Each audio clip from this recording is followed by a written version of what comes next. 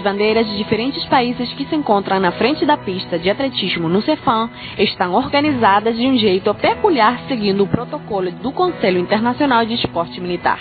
E é o Coronel Paula Silva que explica pra gente como funciona essa organização. As bandeiras que são colocadas obedecendo a um protocolo é, do Conselho Internacional do Esporte Militar, do CISM,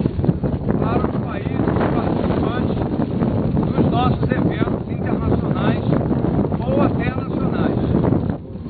Aqui nós temos a bandeira nacional, a bandeira do Brasil, à direita colocada a bandeira do Estado do Rio de Janeiro e à sua esquerda a bandeira do município do Rio de Janeiro. Temos a bandeira do CISM, Conselho Internacional do Esporte Militar, e em seguida a bandeira da Comissão Desportiva Militar do Brasil, com sede em Brasília, nós chamamos CDMB, e sede em Brasília, Ministério da Defesa. Em seguida da bandeira da CDMB, Comissão Desportiva Militar do Brasil, nós temos a bandeira da África do Sul, um país participante, temos logo a seguir a bandeira da Alemanha, a bandeira da Argentina, seguindo o alfabeto francês, bandeira da Dinamarca, Finlândia, Noruega, Paquistão, em seguida, Peru, país observador, Polônia, Suécia e Turquia.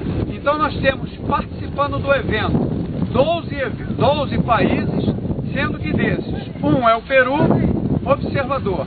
Competindo, nós temos atletas de 11 países que são filiados ao Conselho Internacional de Esporte Militar, CISM.